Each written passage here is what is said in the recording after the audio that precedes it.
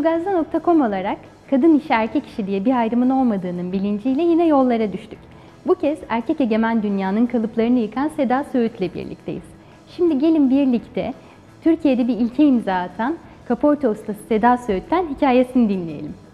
Seda Hanım öncelikle sizi kısaca tanıyabilir miyiz? Evet, e, 26 yaşındayım. 6 yıldır boyasız kaporta onarım uzmanlığı yapıyorum. Bu sene kendi yerimi açtım. Tesadüf diye bir şey yoktur. Nasibim neyse onu kopararak aldım. İlk teklifi ben sundum. Sonrasında hikayem başladı. Hı hı. Peki hikayenizi dinleyebilir miyiz?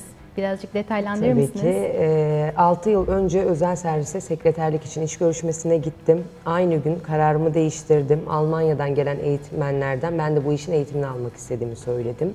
Şaka yaptığımı düşündüler.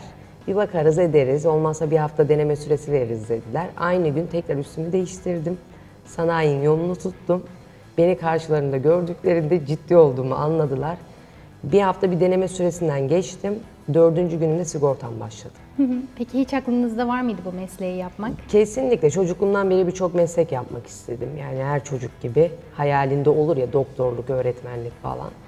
Ama e, söyleselerdi günün birinde boyasız kaporta uzmanı olacaksın inanmazdım.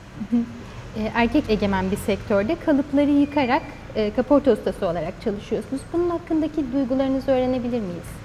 Ya Allah'a şükür ben çok zorlanmadım erkeklerin egemen olduğu bir sektör olmasına rağmen. Aksine çok iyi anlaşıyorum. Siz bir de eğitim veriyorsunuz Evet, bu işle ilgili. evet. Onu da anlatır mısınız bize? Ee, ben ilk bir haftalık deneme süresinden sonra sigortam başladı. 3 aylık eğitime tabi tutuldum. İşte elin yatkın mı, yakını gözlerin çok iyi görüyor mu, sabrın iyi mi gibi. 3 aydan sonra eğitmenimiz Almandı zaten. Bu işin eğitiminin benim daha iyi verebileceğimi söyledi patronumuza. 3 ayda onun için eğitim aldım. Yani bu işi ne kadar iyi anlatabileceğime dair eğitim aldım. E, peki şu anda Türkiye'de başka kadın kaporta ustası var mı? Yoksa siz hala tek misiniz? Ee, boyasız olarak kaporta onarımı yapan tek kadınım hala. Henüz yok. Bilmiyorum ilerleyen zamanda olur mu? İnşallah olur ama. Müşterileriniz arasında otogazlı araç sahipleri de var mı? Var. ee, ben de eski otogazlı araç kullanıcısıydım. eski arabam da vardı. Gayet de memnundum yani. Bana hiçbir sorun yaşatmadı. Aksine daha iyi. Diğer araçlardan.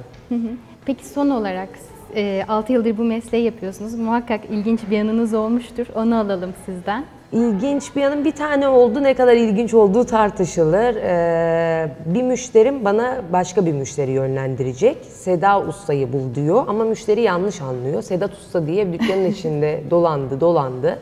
Burada bir usta var diyorum. O da Seda benim. Başka usta yok. Hele ki yani ismi bana yakın başka bir isimde kimse yok.